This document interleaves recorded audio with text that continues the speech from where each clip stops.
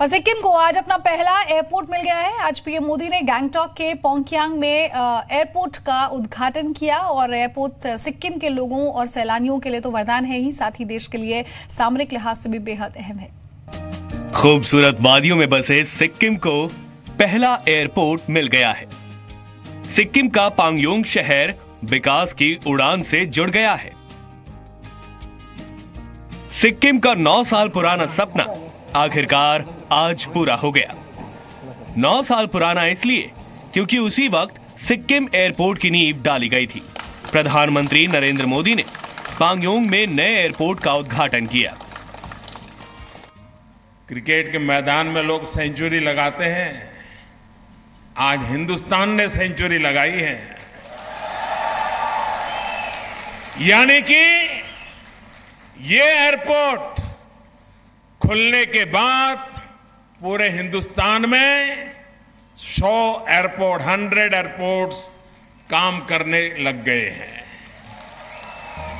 सिक्किम की राजधानी गैंगटॉक से 30 किलोमीटर दूर ये पांगयोंग शहर है। लोगों को आने जाने में मुश्किलों का सामना करना पड़ता है और यहाँ के लोग आज़ादी के बाद से एयरपोर्ट बनने का इंतज़ार कर रहे थे।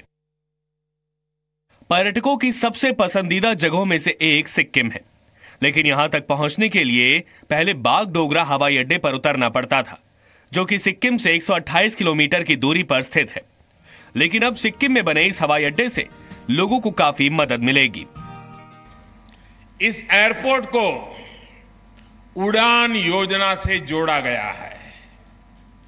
इस योजना के तहत एक घंटे तक के सफ़र के लिए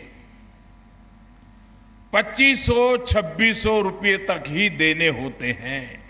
ढाई हज़ार रुपया करीब करीब। पांगयोंग एयरपोर्ट 206 एकड़ में फैला है। इसको बनाने में 605.59 करोड़ की लागत आई है। जियो टेक्निकल इंजीनियरिंग का इस्तेमाल किया गया है। मिट्टी में एयरपोर्ट की जरूरतों के हिसाब से बदलाव किए गए हैं। स्लोप स्टेबलाइजेशन तकनीक भी लगाई गई है। पांगयोंग में एयरपोर्ट हो जाने से पर्यटकों के लिए भी सफ़र से कम से कम चार पाँच घंटे बचेंगे।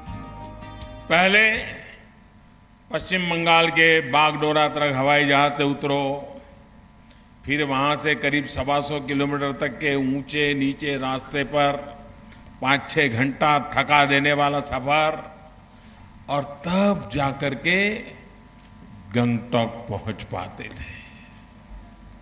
लेकिन अब पाक्योंग एयरपोर्ट इस थका देने वाली दूरी को मिनटों में समेटने वाला स्पाइस जेट ने इसी साल 10 मार्च को कोलकाता से पांगयोंग के बीच सफल टेस्ट फ़्लाइट की थी। इसके बाद कंपनी को सिक्योरिटी क्लियरेंस मिल गया था। माना जा रहा है कि पांगयोंग को भूटान, नेपाल और थाईलैंड जैसे देशों से जोड़ा जा सकता है, जहाँ लोग छुट्टियाँ मनाने जाते हैं। पूजा मक्कड़, पांगयोंग, जी मीडिया।